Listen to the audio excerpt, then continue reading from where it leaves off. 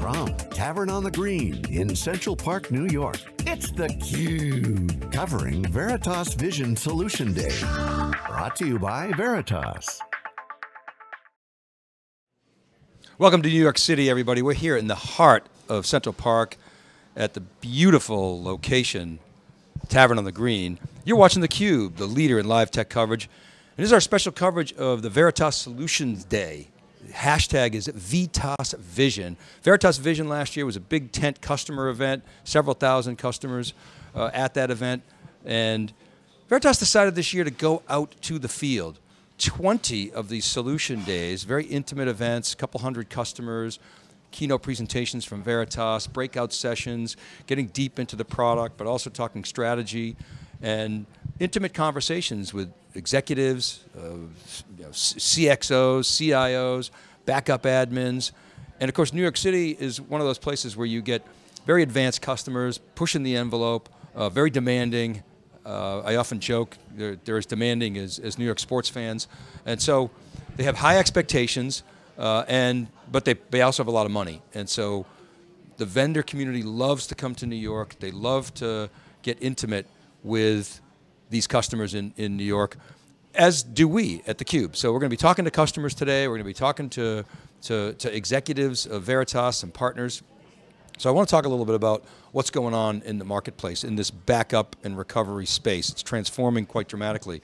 For those of you who follow theCUBE, you know last year at VMworld, uh, last two years actually, data protection was one of the hottest topics at the event. Of course, multi-cloud. Of course, there was a lot of AI talk and containers and Kubernetes, but staid old backup, you know, re old reliable data protection was one of the hottest topics. We're seeing VC money pour into this space.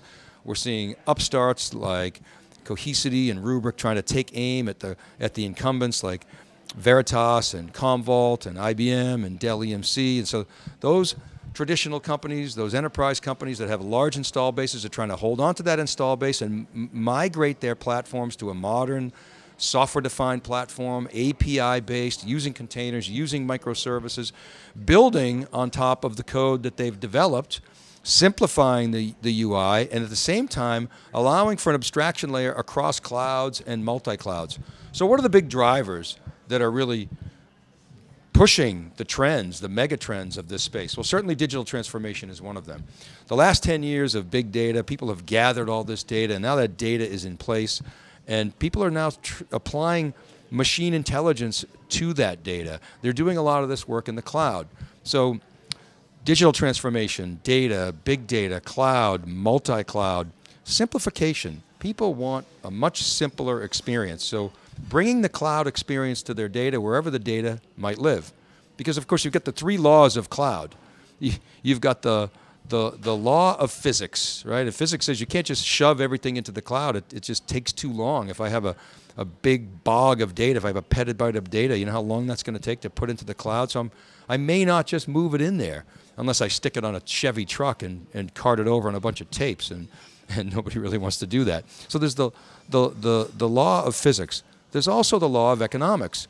It's very expensive to move that data. It's, you need a lot of network bandwidth. So, you know, you might not necessarily put everything into the cloud. You might keep stuff on-prem. And then, of course, there's the law of the land.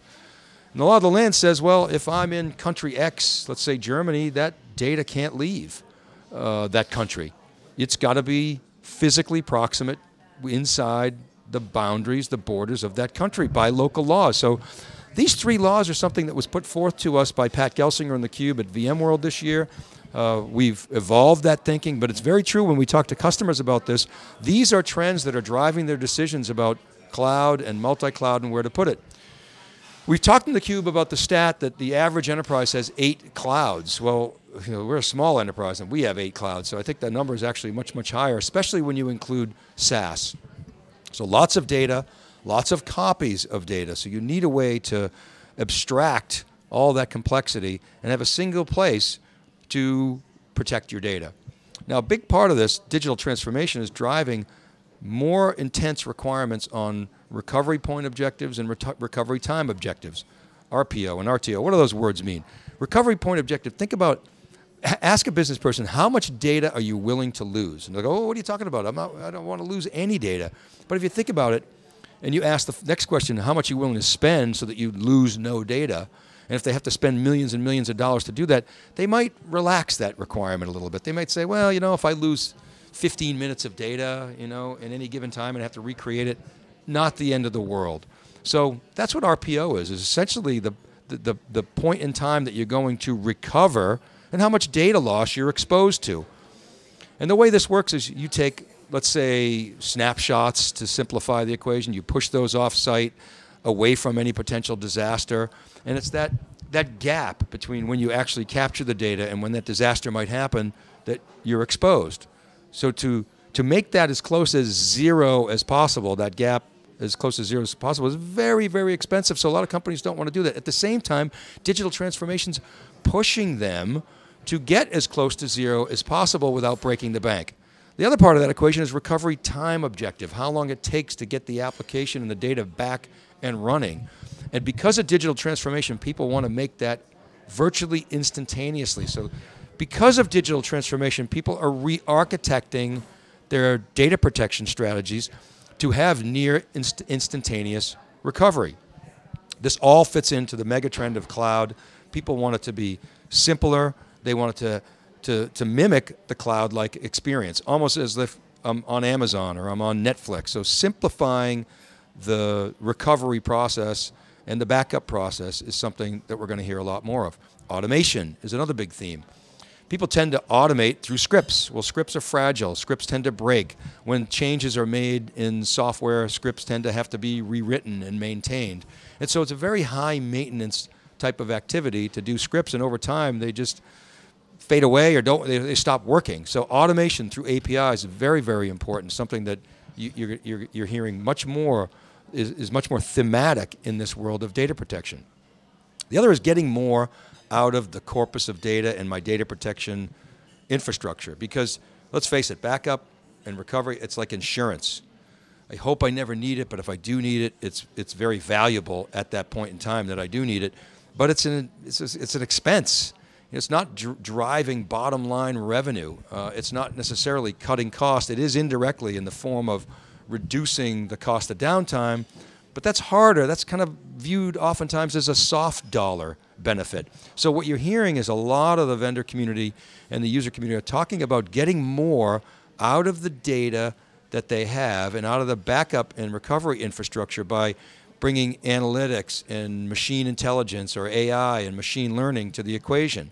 Um, studying analytics to identify anomalous behavior, maybe identifying security breaches, uh, creating air gaps such that uh, I can potentially uh, thwart ransomware or other malware infections, analyzing the corpus of backup data because it holds the, the all the company's corporate data. It's it's it's accessible. If you can analyze that data and look for anomalies, you might be able to thwart an attack. So getting more out of that that data through analytics. Predictive maintenance is another example of data analytics that's driving some of these trends beyond just backup and recovery. And also governance. So so governance and privacy are, you know, kind of security and privacy are two sides of the same coin. So with GDPR, the General Data Protection Regulation that came out, take, that went into effect in terms of fines going into effect this past May, very, very onerous and expensive fines. People are using their data protection uh, corpus and the analytics around that to reduce their risk and to better govern their data. So these are some of the big trends uh, that we're seeing. So Veritas is a, is a leader here. We're going to be covering this all day.